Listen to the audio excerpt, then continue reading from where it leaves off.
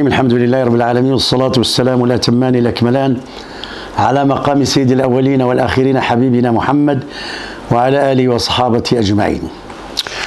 سبحان من أفاض الرحمة على قلوب كثير من عباده حتى صاروا ينسكبون رحمة على كل الناس وإنما يرحم الله من عباده الرحماء. فإنها امرأة بغي من بغايا بني إسرائيل. مرت على كلب يكاد يأكل الثرى من العطش. فقالت إن الذي أصابه من شدة العطش وما أصابني. فاستشعرت ما يحسه الآن. فنزلت إلى بئر ونزعت خفها. وملأته ماء فسقته. فشكر الله لها وغفرها لها وأدخلها الجنة. انظر إلى صنيعها من قبل أن ترحم الكلب. وانظر بعد أن رحمت هذه النفس. والنبي صلى الله عليه وسلم يقول في كل ذي كبد رطبة أجر. رحمها الله. وفي حديث رجل وإن بعض القلوب عياذا بالله كما قد كما كأنها قدت والعياذ بالله من صخر صفوان صلب صلب. والعياذ بالله. فإنها امرأة أخرى مسلمة لكنها حبست هرة هذا حديث صحيح. فلا هي إذ حبستها أطعمتها ولا هي أطلقت سراحها لتأكل من خشاش الأرض. فعذبها الله تعالى في هرة لا تنظر إلى أن الهرة في ميزان الله تعالى ليس شيئا كبيرا. لا. القضية قضية قسوة القلب التي تصدر منها هذه والعياذ بالله التصرفات المشينة المنافية للإنسانية المنافية للرحمة لماذا تقول هذا؟ أقول هذا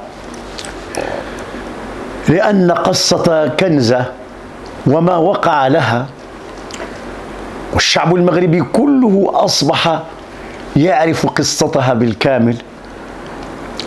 أردت ذاكرتي إلى أيام خلت في مدينة وجدة حيث كنت أخطب حول عاملة من عاملات البيوت لأن البعض يستن لا يريد أن يسميها الخادمة. يعكس عاملة من العاملات. والخدمة والعمل ليس عياذا بالله عيب وإنما هو شرف المؤمن. هو شرف. فالذي يأكل من عرق جبينه هو أفضل ما يسترزق الإنسان والرزق الذي يطلبه هو أن تأكل من عرق جبينك. وكان داود يأكل من عرق جبينه كما ورد في الحديث. إذا هذه الفتاة كنزة ردت ذاكرتي إلى ما وقع في مدينة وجدة سنوات خلت وخطبت في ذلك حول ما تعرضت له إحدى الفتيات في المغرب العاملات في البيوت وتحدثت عن ذلك كثيرا. واليوم نصبح على هذا الحدث. يا الله! لا إله إلا الله محمد رسول الله. نقرأ عليكم بعض يعني مثلا هذا موقع هبة بريس وكل المواقع كتبت قال اهتزت مواقع التواصل الاجتماعي بالمغرب خلال اليومين الأخيرين بالضبط ثلاثة ولا أربعة على وقع قصة فتاة تعرضت لأبشع أنواع التعذيب والاستغلال من طرف مشغليها. الشابة كنزة ابنة القرية التي اختارت العمل كمساعدة كمساعدة بالبيوت لمساعدة والدتها بعد وفاة والدها أي يتيمة. يعني كاين اليتم. ورحمة اليتيم معروف. أن تمسح على رأس اليتيم كما ورد في حديث رسول الله صلى الله عليه وسلم يكتب لك الله تعالى من الحسنات بعدد شعر رأسه. يا الله لا حول ولا قوة إلا بالله العلي العظيم. قبل أن تقودها استضفت إلى العمل لدى عائلة ضواحي مدينة الدار البيضاء. كشفت كنزة في تصريحاتها أنها اشتغلت لدى العائلة المذكورة من شهر يناير الماضي. يعني تقريبا شحال دروك؟ يعني سبع شهور. مشيرة إلى أن صاحبة المنزل تدعي أنها كذا كما أنها تدعي بأن زوجها مسؤول في جهاز كذا. وبنبرة يغلب عليها إحساس الخوف والظلم. حكت كنزة عن تعرضه لأبشع أنواع الاستغلال والتعذيب من ضرب وإهانة. مضيفة أن مشغلة كانت تتعمد تعرضها للاعتداء الجسدي والنفسي باستمرار بالضرب وقص شعرها حرمانها من النوم إجبارها على القيام بها منزلية صعبة وبشكل متواصل.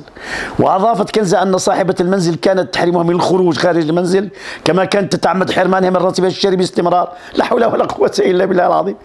وأكدت أنها استغلت أول فرصة للهروب من معتقل مشغلتها حيث تعاني إلى حدود الساعة من جروح وإصابات متفاوتة. الخطورة استدعت نقلها إلى مصحة خاصة لخضوعها لتدخل جراحي مستعجل.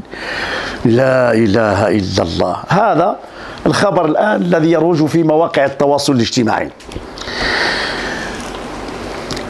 كنت أتابع بإذن الله تبارك وتعالى القضية عبر الوسائط الاجتماعية وعبر ما قيل في هذا الأمر.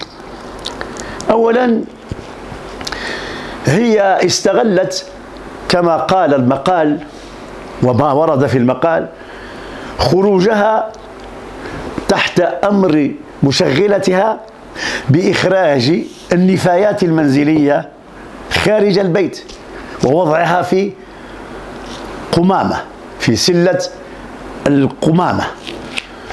فاستغلت أول خروج لها من البيت لكي تفر. فيقودها القدر لتمتطي سيارة.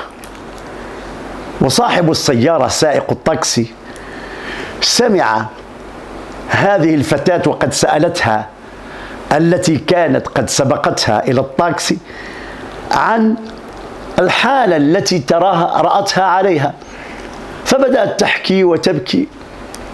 ما تعرضت له طوال الأشهر السبعة وأنها إنما خرجت من هذا البيت أخيرا لتنفيذ مهمة مشغلتها في الخارج لتجدها فرصة لكي تستنشق الهواء الطلق خارج هذا البيت الذي كان يعتبر بمثابة السجن. فلما سمع جيدا أخذها إلى مكان ثم بعد ذلك إلى الأمن أو إلى ثم بعد ذلك ما الذي حدث؟ حاول بإذن الله تبارك وتعالى أن يشيع خبرها عبر الوسائط فقام بهذا العمل البطولي فجزاه الله خيرا ولقي عمله استحسانا كبيرا وقرأت الكثير من هذه التعاليق كلها تدعو له بالخير لأن الذي يسدي معروفا لأي إنسان خاصة كالتي يعيش مثل تلك الحالة التي عاشتها تلك الفتاة له عمل بطولي وعمل جليل ثقيل في الميزان. فمن فرج عن مسلم كربة من كرب الدنيا فرج الله عنه كربة من كرب يوم القيامة. فجزاه الله خيرا. وهذا مثال الشاب المؤمن المتدين الذي يهرع لنجدة الملهوف. ونجدة الملهوف من أعظم العبادات. إغاثة الملهوف من أعظم العبادات. من أثقلها في ميزان الله. فجزاك الله خيرا. يا سائق الطاكسي ورفع الله قدرك وأراك الله الخير كله وبشرك بما تحب. لا إله. بعد ذلك أخذت إلى إحدى هذه المصحات والذي يثلج الصدر وأنا أستمع إلى أحد الأطباء العاملين في المصحة تحدث بشكل يعني آه يعني لقد يعني تحدث عن الحالة ب باستفسار أو بتبيان واضح. وأنا أنقل لكم ماذا قال الطبيب. يعني انظروا إلى هذه الهمجية والوحشية. قال نبدأ قال لهم إن شاء الله تبارك وتعالى بالرأس. فقال فروة الرأس. كلها مضروبة. فروة الرأس. يا الله. ثم هنالك كسر في الدماغ الأيسر. إلا أن الله تعالى سلم. ولم يصل ذلك الكسر إلى المخ. وإلا بلطف الله كانت في حالة لا تحسد عليها. ثم هنالك ضربة في الأذن. يعني هنالك دم. ثم هنالك كسر في العظم هذا الأفقي في أعلى الأنف. ثم هنالك كسر في الساعد. ثم هنالك لا حول ولا قوة إلا بالله. كسر في القفص الصدري من جهة اليسار وقال بفضل الله وسبحانه عز وجل بلطفه لم تصب تلك العظام للقفص الصدري المكسرة الرئة وإلا كانت الرئة قد انفجرت. لا إله. ثم هنالك كسر عظم في الجمجمة. قال لك والحمد لله هذا لم يؤثر فلو أنها وصلت إلى النخاع الشوكي لا أصيبت بالشلل. ثم هنالك فقريات الظهر مكسرة. لا حول ولا قوة إلا بالله. فيقول الطبيب والآن كنا نقيم حالتها فكان لابد من أن تكون هنالك أولويات في العلاج. فلم نجد شيئا يهدد حياتها.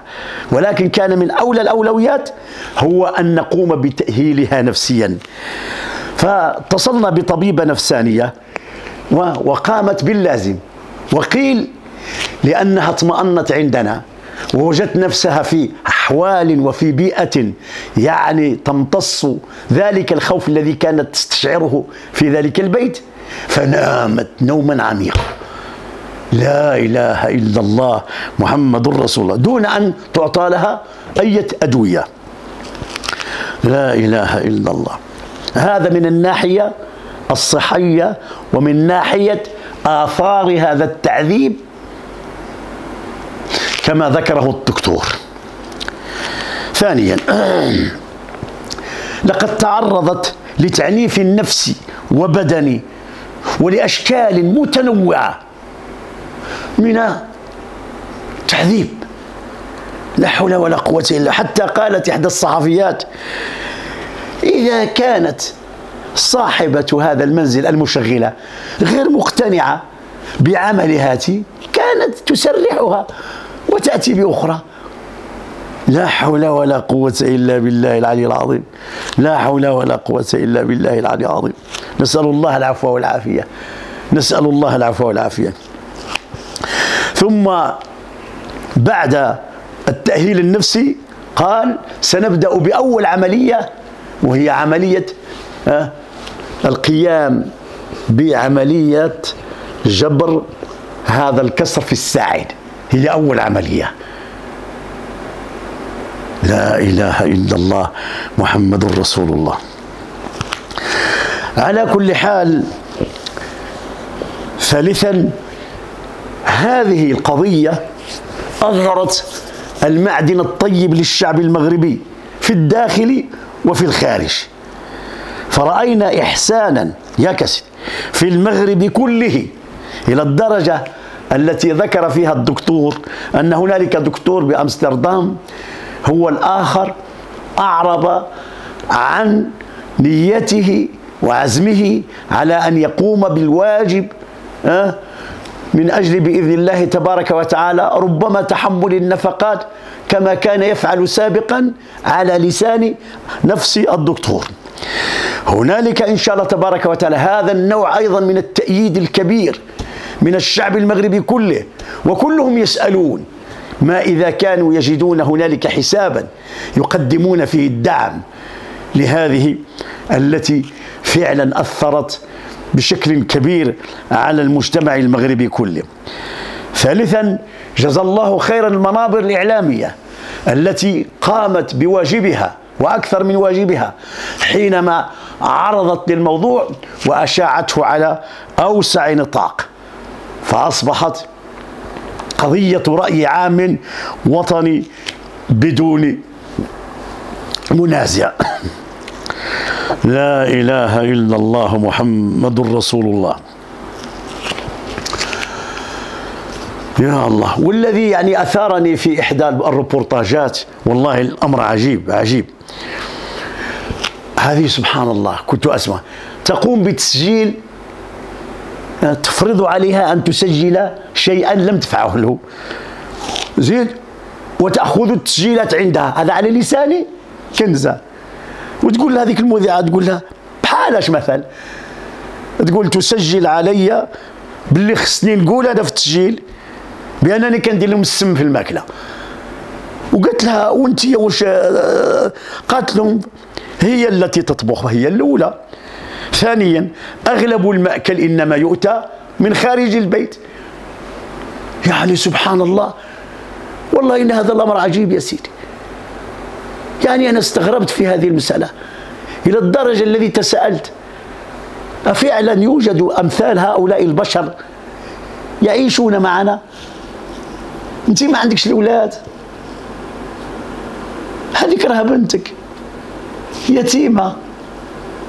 أنا وكافل اليتيم كهذين في الجنة فمن أراد اختصار الطريق إلى الجنة ورفقة الحبيب في واسع الجنات فإن من الأعمال التي تبلغ كذلك هو الرحمة باليتيم. ألم يقل الله تعالى سبحانه عز وجل فأما اليتيم فلا تقهر؟ يا لطيف يا لطيف. وقال تعالى أرأيت الذي يكذب بالدين فذلك الذي يدعو اليتيم؟ الذي يقهر اليتيم. هو إنسان لا يؤمن بيوم الدين حقيقة حتى ولو انساب على لسانه أنه يؤمن باليوم القيامة. لأن الذي يؤمن بيوم الدين لا يمكن أن يكون قاس على من لا يجد من ينصره. ففي الحديث القدسي اشتد غضبي على من ظلم من لم يجد ناصرا غيري. لا إله إلا الله محمد رسول الله. سأعلق ببعض الكلمات الشرعية إن شاء الله تبارك وتعالى. أولا يقول عليه الصلاة والسلام الظلم ظلمات يوم القيامة. واشتد غضب الله على من ظلم من لم يجد ناصرا غيره. الظلم ظلمات ولكن اشتد غضب الله على من يظلم الضعيف الذي لا يجد من يسنده ولا من يعينه ولا من يقف إلى جانبه ولا من يسعفه. يا الله. وعن أي ظلم نتحدث؟ الأجرة التي لا تأخذها؟ السجن الذي يمارس عليها في البيت. عدم النوم. التعذيب النفسي. التعذيب البدني. تسجيل هذه هذه تسجيلات. يعني سبحان الله سبحان الله الأمر يحتاج إلى فعلا فعلا فعلا فعلا. يحتاج الأمر إلى تحريك المسطرة القانونية للاستماع إلى هؤلاء. والله إن الأمر فعلا فعلا أمر عجيب. ثانيا المطلوب بإذن الله تبارك وتعالى الرحمة بهؤلاء الضعاف. قال عليه الصلاة والسلام إنما تنصرون وتجبرون وترزقون بضعفائكم. كان عليه الصلاة والسلام إذا خرج للغزو أو للسفر يجمع الضعاف واليتامى والأرامل والعجزة ويسألهم الدعاء. الله! الله! الله! الله! الله! الله! الله! يعني الإنسان بدل أن يسأل هؤلاء الدعاء خاصة وأن الله تبارك وتعالى سبحانه عز وجل ساق إليك هذه اليتيمة هذه الضعيفة التي لا تجد من يسندها ولا من يعينها. يعني هذا خير ساقه الله إليكم.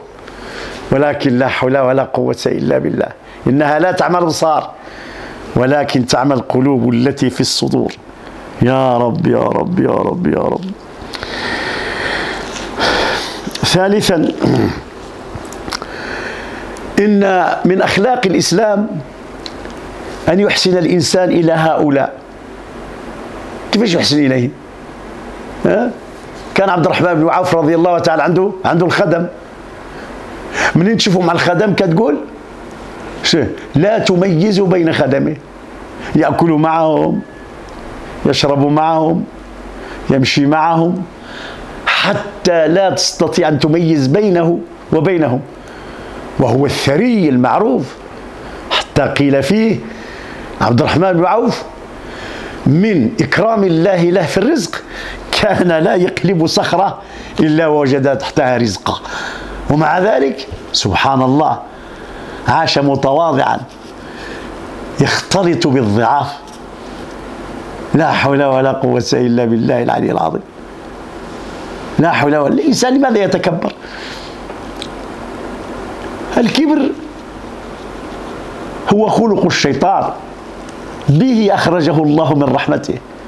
ومن كان في قلبه مثقال ذرة من كبر دخل النار يا أخوتنا. ولو صلى وصام وحج وزعم أنه مسلم. إن الله لا يحب المستكبرين. بئس مثوى المتكبرين. لا حول ولا قوة إلا بالله العظيم. رابعا كان أبو مسعود البدري هذا أبو مسعود أنصاري من أهل بدر.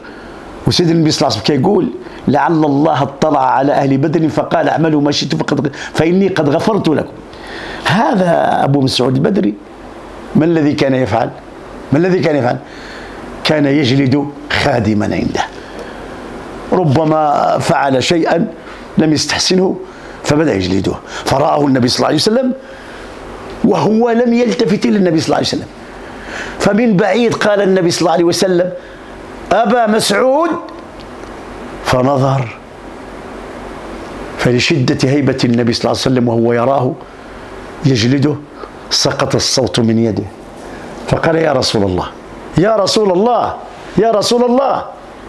هو حر لوجه الله. أتدرون ماذا قال له النبي صلى الله عليه وسلم؟ وهو من أهل بدر. قال أما إنك لو لم تعتقه للفحتك النار يوم القيامة. رب رب رب رب رب رب رب رب رب رب. أبو مسعود البدري أما إنك لو لم تعتقه ولو لم تفعل ما فعلت للفحتك النار يوم القيامة. يا رب يا رب. واحد المرة واحد الصحابي عنده الخدامة بزاف. قالوا يا رسول الله صلى فعل مجلس مع الصحابة اسمعوا مزيان. قالوا يا رسول الله أولئك الخدم يسرقونني ولا نزعف فأضربهم. فقال له النبي صلى الله عليه وسلم ستؤتى يوم القيامة ويؤتى باش بما سرقوا لك. فيوضع في كفة حسناتك. ويؤتى بظلمك إياهم وضربهم. فيوضع في كفة سيئاتك. فإن رجحت كفة حسناتك هنيئا لك. وإن رجحت كفة سيئاتك فهاتف الرجل يبكي. يبكي بين يدي رسول الله. فقال له عليه الصلاة والسلام ألم تقرأ قوله تعالى ونضع الموازين القسط ليوم القيامة فلا تظلم نفس شيئا وإن كان مثقال حبة من خردل أتينا بها وكفى بنا حاسبين قالوا هم أحرار لوجه الله يا رسول الله. الناس كانت تعرف هذا القدر ديال الناس. لا حول ولا قوة إلا بالله العلي العظيم. خامسا حتى أنتم عندكم الأولاد ألم تسمعوا إلى قول النبي صلى الله عليه وسلم؟ البر لا يبلى والذنب لا ينسى والديان لا يموت. يعمل ما شئت كما تدين تدان إحنا عندنا واحد المثال كيقول دعوة الذئب تجي في جراه. لماذا تجلب عياذا بالله لأولادك؟ ما هم براء منه. لماذا تحمل أولادك جريرة قبيح صنعك. لماذا؟ لماذا راه سيدي ربي في القرآن كيقول وكان أبوهما صالحا. يعني صلاح الجد السابع عاد بالبركة على الأولاد. وحينما يكون الوالد والعياذ بالله ولا الوالدة ظالمان يكونان ظالمين لأولاد الناس. ايوا ولادك انت يا البر لا يبلى والذنب لا ينسى والديان لا يموت. اعمل ما شئت كما تدين تدان. هذا دين. لا حول ولا قوة. سادسا أين الخوف من الله بالنسبة للمسلم؟ يعني الإنسان ما بقاش في خوف. الله تبارك وتعالى والله أخوتي هنا كاين اللي سراق الزيت سراق الزيت. تعرفوا سراق الزيت حنا عندنا في الشرق أو لا حشرة يجدها إنسان مقلوب على ظهرها ما تبغيش تنوض. والله يقف بالدراجة ديالو. أو اللي يفوت عليها فلا يطمئن حتى يعيدها للحالة الطبيعية لكي تستأنف مسيرها أية رحمة هذه وكاين اللي الله يحفظه يستر يعدم ويظلم. رحنا غير نشوفوا في غزة عباد الله. انظر ماذا يفعلون في غزة. اللي كيقول سيدي ربي سبحانه عز وجل آه، قست قلوبكم. فهي كالحجارة أو أشد قسوة. وإن من الحجارة لما يتفجر منه النهار. وإن منها لما يشقق فيخرج منه الماء. وإن منها لما يهبط من خشية الله. لا إله. وسادسا آه، أختم بهذا الحديث. حديث رسول الله صلى الله عليه وسلم يقول قال عليه الصلاة والسلام أشد الناس عذابا يوم القيامة الذين يعذبون الناس. أوب أوب أوب أوب أوب أوب. أشد الناس عذابا يوم القيامة. الذين يعذبون الناس. نسأل الله تعالى سبحانه عز وجل أن يعجل بشفاء ابنتنا كنزة وأن يرحم أباها وأن يصبر أمها وإخوانها. وجزا الله خيرا السائق والطبيب. وجميع من تفاعل خيرا مع هذه مع مع بنتنا جميعا. فجزاكم الله خيرا وأحسن الله عليكم وصلى الله وسلم على حبيبنا محمد والحمد لله رب العالمين.